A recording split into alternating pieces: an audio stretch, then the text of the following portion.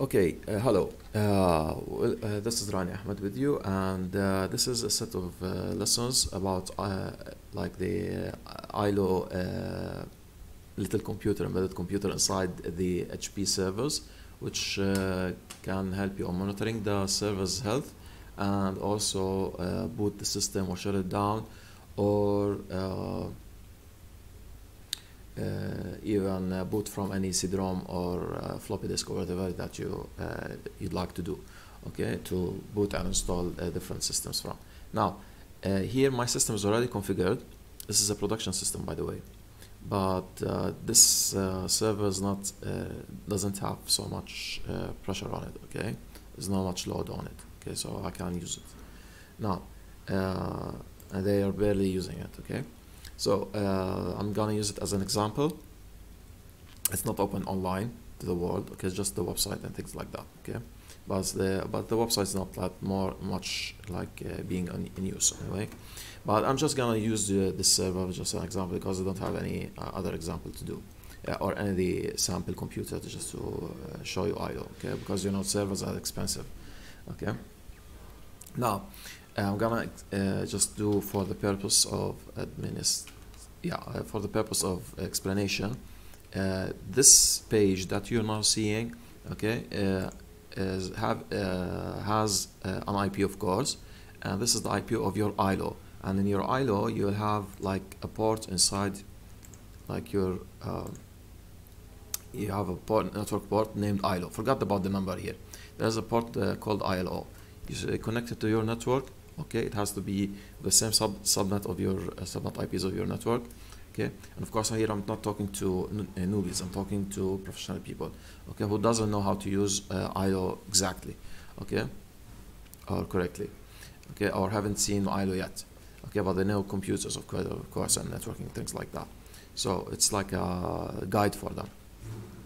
So uh, you connect it to the port that has a label called ILO okay and so this is only for HP servers okay not any other kind of servers okay?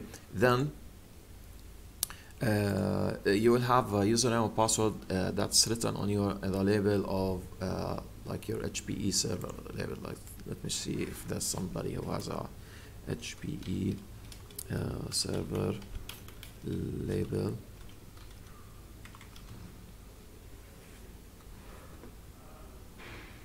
yeah things like this like this this is this one. I have something similar to this one this one. See this one. Okay? So uh, there's a uh, there's a, default password that's already set inside the machine. Okay? Okay? So uh, some label like that on top your of your uh, HP uh, so this is for hard disks. Okay now HP uh, server product number label.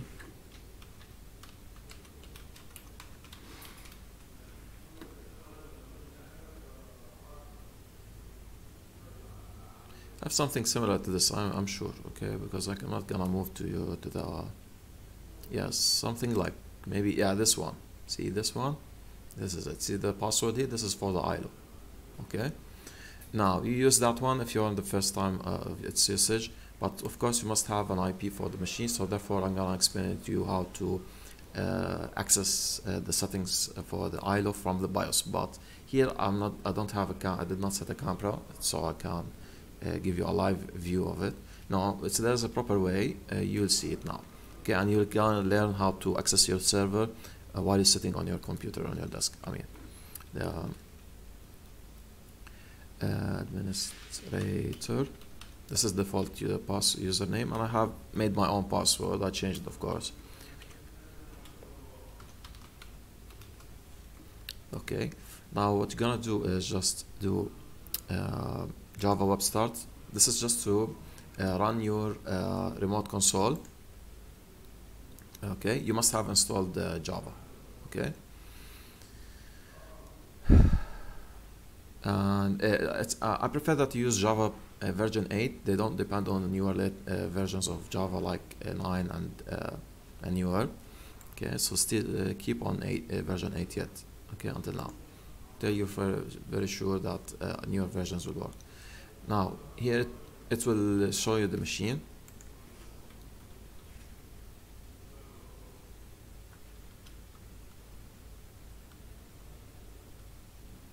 Now, I'm gonna do is I'm gonna show you how exactly this is my Linux system this is actually working okay? Well, I'm gonna reboot just to go to the BIOS okay? See I'm gonna show you the BIOS while the uh, uh, like uh, unlike what you usually uh, do with TeamViewer and uh, you're gonna see the BIOS. And TeamViewer on AnyDesk once you reboot the system you need somebody else to open uh, uh, AnyDesk and show you the desktop only. You can't see the BIOS. This is this is the uh, like uh, the good thing about ILO okay? So you can see everything. It's like you have your own screen inside the screen of your uh, of your operating system. You'll see you'll see without further ado you know? So I'm gonna restart the machine normally. Restart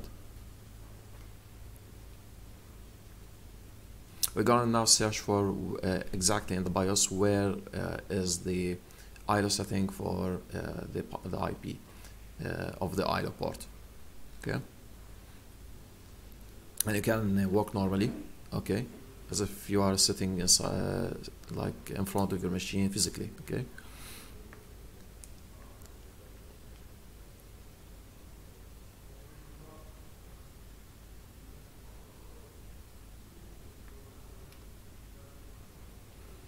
now I think you'll hear the fans of my server okay see? Yep so you're hearing the fans of the server. So now see the changes? Now you're seeing the BIOS okay of the system okay?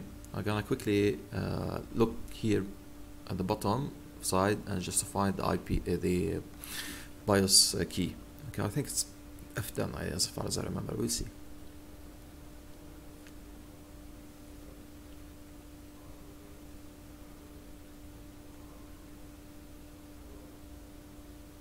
so uh, it's unlike an, a normal PC okay? ILO will show you the BIOS as it's like this is the good thing. You can remotely con control the server and uh, configure it. See this is the ILO port that I ILO IP I've uh, set but now I'm gonna make something else. Now it's uh, it's uh, F9 F9 okay go to F9 see? F9 to do system utilities.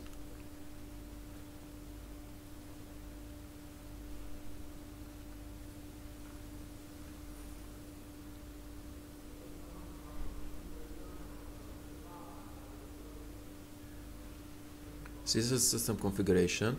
We go to system configuration. And we go to ILO 4 see we can use the keys uh, up and down ILO 4 configuration utility. Okay and we go to uh, network options I think yes. And you set the IP address over here by pressing enter sending it okay? So like this and this is it. Yeah that's it that's it that's it okay?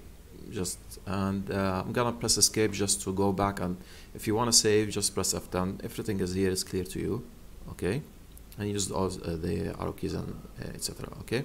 Of course you, you it's better that you put the DHCP off okay? Because uh,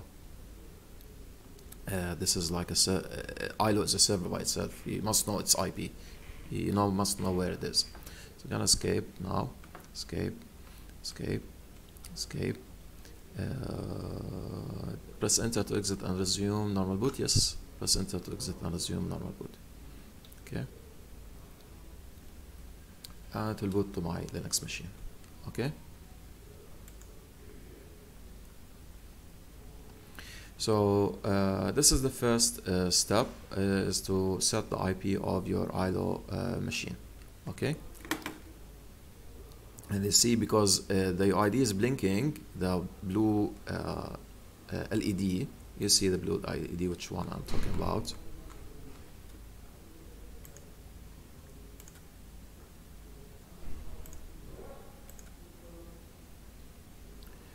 UID LED as I give you pictures.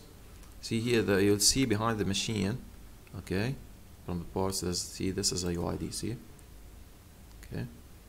So you see an LED turned on okay? Which will show you it should tell you this is the machine that you are really working on. If you have so many okay? Uh, uh, you want to know which machine has trouble just turn the UID in it. Okay so this is now the UID indicator. Okay?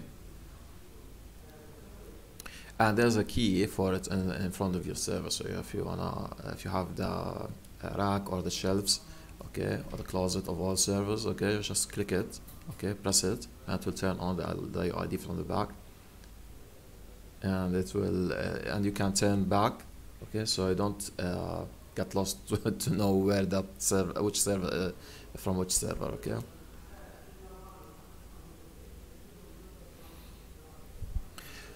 So um, now the machine uh, has turned on okay? I don't have to log in to my Linux. Here's the server is working. Now um, so this is all about setting the uh, IP of your ILO I'm going to the next video. And I'm going to show you how to make an SSH login to your Smash uh, uh CLI command line where you can control this uh, ILO from a command line. Okay and later on the later stages we're going to show you how to use uh, scripting so you can manage uh, like like 100 or 50 computers like at once okay? And even I'm to show you how to boot uh, the CD-ROM and ISO images okay?